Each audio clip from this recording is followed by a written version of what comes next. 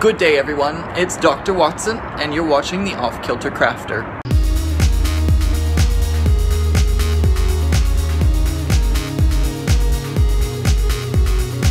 Hey everybody, it's Ian the Off Kilter Crafter. Hope you're having a great day today. So today's project is going to be a little bit different. It's not going to be crafting per se. It's going to be more towards maybe like science fair, even like kids science fair project. As many of you know, I work at a science museum and I'm always looking for opportunities to educate where you wouldn't really expect education to happen.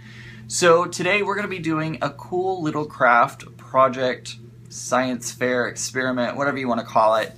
Um, we're going to be making a planisphere today, and this is a very cool tool to help you see what's going to be in the sky, what stars and constellations are going to be in the sky uh, each night. I got this template online. I'll put a link to this specific project down in the description below. Click down there. You may have to click the show more button and that will show more of the description and all the things that are included with this video. So I'll put the link to this specific one in that section. And in this video, I'll show you how to take all these pieces from that download that you get. Again, I wanted to give credit to the Discovery Channel for creating this file. This is not my file but it is a file that they have created and I have taken and changed into a JPEG. I also think they partnered with the Pacific Science Center. It's hard to see, focus camera. Uh, I think they partnered with the Pacific Science Center to do this project and if you have not been to the Pacific Science Center in Seattle, go check it out. It's pretty cool. I actually got to go check out the Pacific Science Center when I was in Seattle It was a pretty cool museum. I, of course, am a little biased because I like the museum that I work at, but I definitely like to check out other museums across the country, and it's kind of like my goal to go around and just check out all the different museums around the country. And even around the world, too. Anyways, a planisphere helps you to find what's going to be in the nighttime sky just by spinning this wheel right here. You can see that during different months, different constellations will be visible at different times of the evening. So you just spin this outer wheel and you can set it up here we have the time and then we have the date and I'll explain how all of that works in just a little bit. So stick with me. The first thing we're going to do is going to be importing this file into Cricut Design Space. Um, it didn't have the back. This is just a black piece of cardstock and then I did a print then cut for both the um, black part up here and then the star wheel was also a print then cut. And I'll show you how to import both of these files into Cricut Design Space using the new Cricut Design Space 2.0. So let's go ahead and get started by importing this into Cricut Design Space 2.0. Alright everybody, here is how you can import those files to Cricut Design Space 2.0.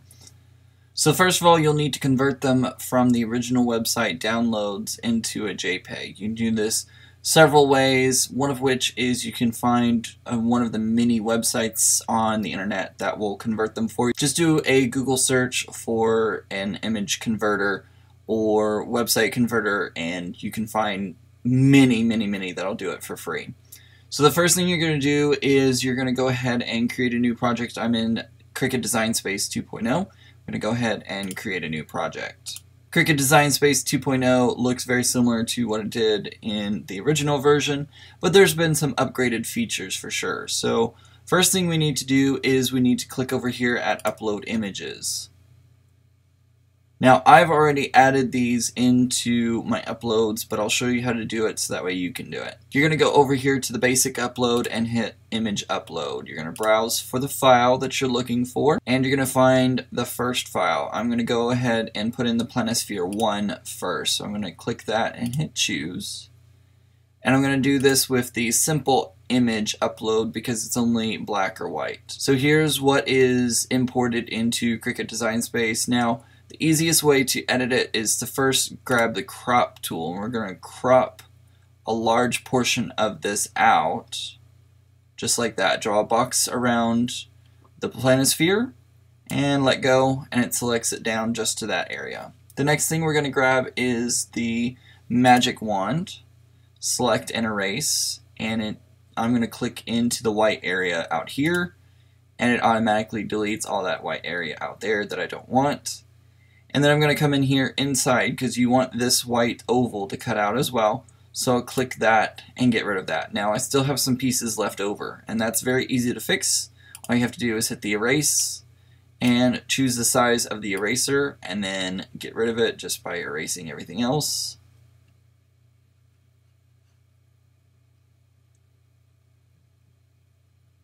And just like that, you're ready to go. So I continue down over here in the right hand corner. Just to make sure though, let's go ahead and hit preview, which is now moved down to the very bottom right here. Click preview. That shows us that everything is clean and ready to be imported. So we'll hit continue. And then we'll name it Planisphere 1. We'll add some tags. I added like astronomy and star chart and stuff like that. I added some keywords over here. And you will also want to make sure this box down here on the right is checked. It says preserve original image with shapes. So we want to make sure to do this because we're doing a print then cut. And you'll hit save. So we're going to do the same thing with the wheel, with the actual Planisphere wheel that has the stars on it. Again, go browse, pick up the image you want, hit the simple image import and once again, we're going to go ahead and select just the wheel. We only want the wheel. So we're going to do that. Get rid of the white area around the wheel. And erase the stuff that we don't want.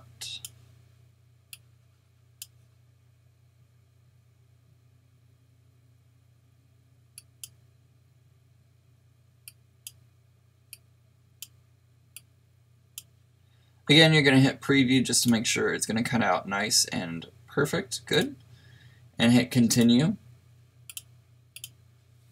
Once again, you name it over here on the right.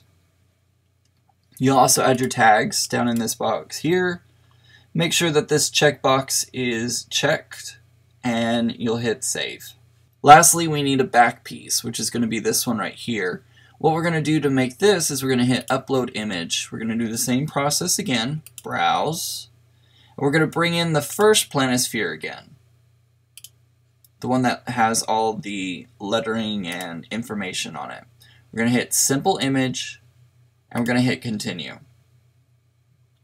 Now we're going to do the same thing again where we select just the planisphere get rid of all the white area. But this time, instead of cutting out this area, we want this to stay inside. We want to keep this. So we're just going to hit the preview just to make sure everything else is cut correctly, which it is. And we're going to hit the continue. Now, we don't want to print this again. We want this to just be a regular piece of cardstock. So down here on the bottom right, we're going to click that checkbox that says Preserve Original Image. That's going to get rid of it and we can then just cut this out of regular cardstock. So now that I have all three pieces imported, I'm just going to select them and import them by clicking the Insert Images.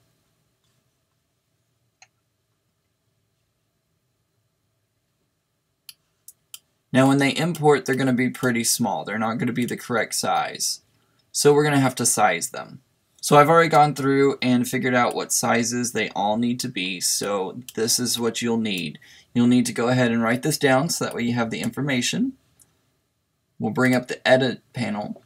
The circle disk that has all the different stars and constellations on it, it needs to be 5.9 inches wide. Then the back piece needs to be 5.98 and then the front piece also is 5.98 because these are going to attach right on top of each other. So now that I've cut these pieces out, we're going to go ahead and put them together and assemble them. Now, like on what you saw in Design Space, I've designed this so that, well, I didn't design it, but I sized it so that this first area that has the times of day on it fit almost perfectly into the line that has the months and the days on it. So what we're to do is we're to leave this out for now and we're to take our back piece because this side is just regular black cardstock and we're to attach it onto the front piece that has all the times of day on them and they match up perfectly and then you'll see the three parts right here that say staple. So what we're gonna do is we're gonna take our stapler and I'm gonna put it in just right where it says to staple. So there's our first staple. Line everything up.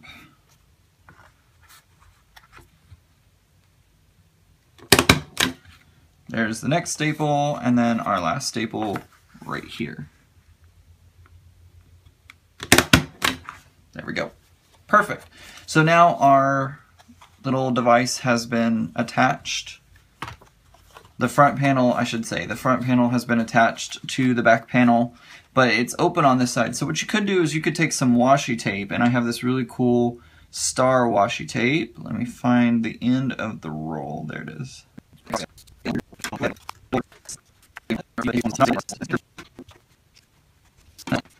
Alright, so now we're going to take our little disc that has all the constellations for the planisphere. You simply slide it in, just like that, and we have our perfectly ready to go planisphere. You just turn it to the day and what time of day that you're looking at. And then use the little area right here to show you what's going to be in the sky at that time. So let's say, for instance, that I wanted to find what was going to be on my birthday, which is May 30th. What I'm going to do is I'm going to find May, which there's May right there. I'm going to find 30, which is that one right there, and let's go to midnight on May 30th. So that's going to be right about, oops, that's going to be right about there. And so if I was looking in the southern sky, I would see Scorpio along the horizon. We'd have Sagittarius off towards the southeast. Leo would be setting over towards the north-northwest area of the horizon. Also in the nighttime sky, we would also have Ursa Major, which is this one right here, the Big Dipper. Then we'd also have Ursa Minor, this one right here. And then, of course, the North Star would be that star right there, um, and that's why whenever you spin this planisphere, everything is going to be basically spinning around that one point. Now, one thing when using a planisphere that I can't really show with the overhead camera is that when you use this, you have to hold it up over your head. If you hold it down towards the ground, you're actually going to be looking at the sky in reverse.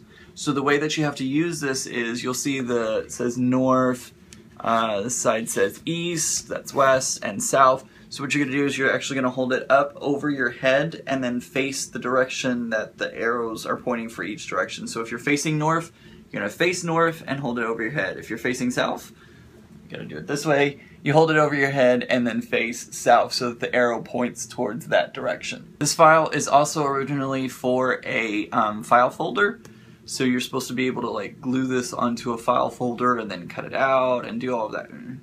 It's so much easier to do this in Cricut Design Space and then just cut it out. Made life so much easier. So that's today's video. I hope you find this Planisphere lots of fun. As we're heading into spring, you'll be able to use it more and more as the temperatures start to warm up. I can't really use it here in DFW because the lights in DFW are really, really bright. If you're in a metropolitan area that has a lot of lights, go out into the country where you can actually see everything. Usually if I leave about an hour outside of the DFW area, I can see a lot more stars. So take this with you, go check it out, spend some time out in the beautiful nighttime sky and get familiarized with the constellations that you may or may not know about. So I hope you liked today's video. If you do, if you wouldn't mind giving me a thumbs up to let me know you like this video and also lets YouTube know that you like this video and want to see more of my videos and crafts. And if you're not already, go ahead and click this button right up here. It's going to be up here somewhere.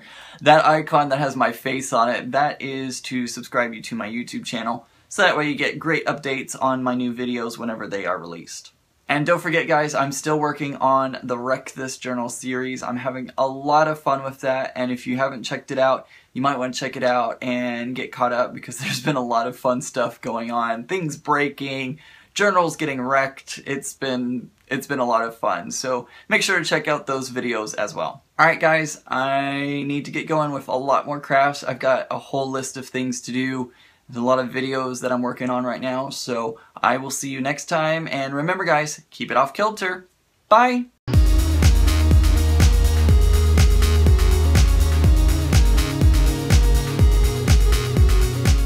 That's going in the bloopers. Then I show the video of me importing into Cricut 2.0. I just noticed I'm wearing Marvin the Martian and talking about a planisphere. Coincidence? Yeah, it was actually. this is the shirt I grabbed. It just happened. Anyways,